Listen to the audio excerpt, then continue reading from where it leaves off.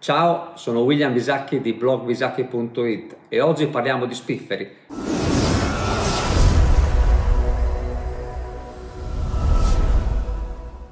Gli spifferi dalle finestre. Gli spifferi delle finestre è uno dei principali motivi per il quale mi viene chiesta la sostituzione delle finestre degli anni 60, degli anni 70, anni 80 e ahimè anche anni 90, anche se anni 90 una finestra dovrebbe essere già costruita con delle guarnizioni che non dovrebbero creare nessun tipo di problema di spiffero o perlomeno non un problema così grande da dover far cambiare le finestre. Diciamo che la causa è principalmente del nodo tra telaio e antapribile dove mancano le guarnizioni, soprattutto nelle finestre anni 60, 70, 80, non c'era proprio la guarnizione, il telaio e l'anta appoggiavano uno contro l'altro, lì basta mezzo millimetro di aria, ma in realtà delle volte ce ne sono due, passo degli spifferi che come dicono le signore fanno spostare le tende quindi sono le tende che si muovono da sole, non solo fantasmi ma lo spiffero della finestra. Poi gli altri spifferi che possono crearsi è se si ha la tapparella avvolgibile, quindi dal cassonetto coprerullo, dal cassonetto possono passare degli spifferi dove c'è l'apertura del coperchio ancora più grandi di quelli tra e telaio e poi nei casi più gravi l'attacco a muro, praticamente il telaio dove è attaccato nel muro, lì c'è una fessura, anche lì degli spifferi passano, ma diciamo che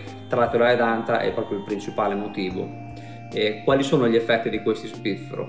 Prima di tutto è che se hai una poltrona, una sedia lì vicino, ti senti lo spiffero che ti arriva qui nel collo, è un bel fastidio e quello è quello che lo noti come fastidio, diciamo così, eh, naturale. L'altro fastidio lo vedi a fine mese quando ti arriva la bolletta della corrente elettrica o del gas a seconda di come stai riscaldando l'abitazione e il conto è astronomico. Quindi lo spiffero diciamo che crea questi effetti non da poco. Lato positivo dello spiffero qual è? Che la casa spifferando cambia l'aria continuamente, quindi i tassi di umidità relativa rimangono a livelli accettabili e anche il tasso di ossigeno nell'aria è sempre ad un buon livello, quindi non avrai mai il problema di avere un'aria troppo ricca di CO2 che ti può creare mal di testa e sonnolenza, però diciamo che eh, questo piccolo pregio è molto inferiore rispetto a tutti gli altri difetti.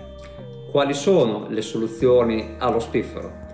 Una soluzione che spesso si pensa è fare il cappotto, in realtà il cappotto serve a poco da questo punto di vista perché va solamente a isolare di più la parete, isolando di più la parete aumenti praticamente la prestazione termica appunto del muro della parete, ma lo spiffero rimane, quindi andare a isolare col cappotto senza risolvere il problema dello spiffero, il conto astronomico della bolletta rimarrà pressoché uguale. Un'altra soluzione temporanea è il salsicciotto, spesso viene usato sotto la fessura della porta, ma io l'ho visto usare anche nel davanzale della finestra, quei salsicciotti in panno colorati che vengono messi lì sul davanzale oltre a essere molto brutti, fermano leggermente l'aria, quindi non ti arriva direttamente sul coppetto, ma il contatore gira alla stessa maniera, quindi il,